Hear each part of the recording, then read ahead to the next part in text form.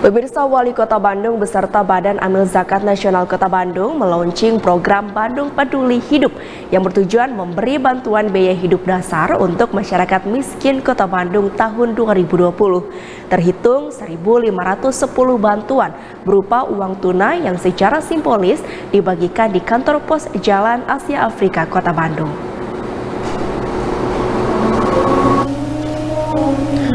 Guna mengentaskan permasalahan kesejahteraan sosial di wilayah Kota Bandung, Badan Zakat Nasional Basnas Kota Bandung meluncurkan program Bandung Peduli Hidup yang secara simbolis dilakukan oleh Wali Kota Bandung Odet M. Daniel di kantor pos besar Jalan Asia Afrika Kota Bandung.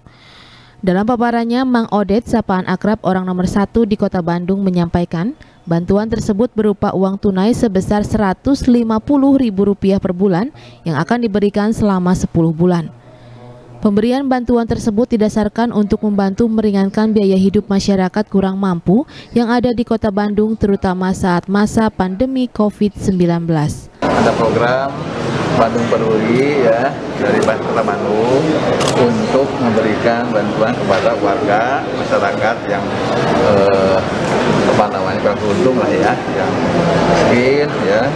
Jumlahnya ada 1510 warga ya.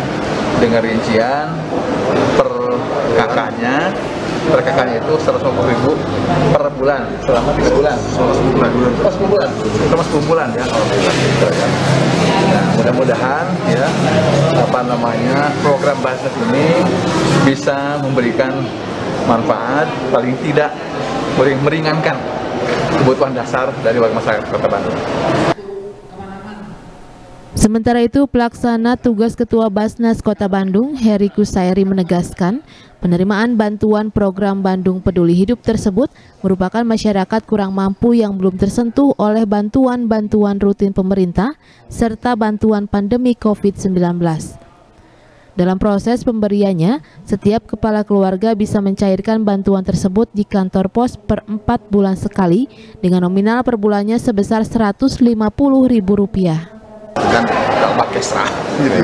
kita harus bersinergi dengan dinsos juga di semua yang ada komponen yang ada uh, bantuan. Jadi program Basnas itu pertama mendukung visinya Kota Bandung. Dan ya, bagaimana menjadi apa warga Kota Bandung dan Kota Bandung yang unggul ya, nyaman sejahtera dan agamis. Kita ngambil sejahteranya. Kita ngambil sejahtera dan tentu ada agamis. Diharapkan dengan adanya bantuan dari program Bandung Peduli bisa dimanfaatkan sebaik mungkin untuk mengatasi masalah kesejahteraan sosial warga masyarakat Kota Bandung terlebih dampak dari pandemi COVID-19. Untuk itu pemerintah Kota Bandung melalui Dinas Sosial dan Basnas terus berupaya menyalurkan bantuan baik berupa sembako maupun uang tunai untuk dapat digunakan masyarakat. Yuwana Kurniawan, Bandung TV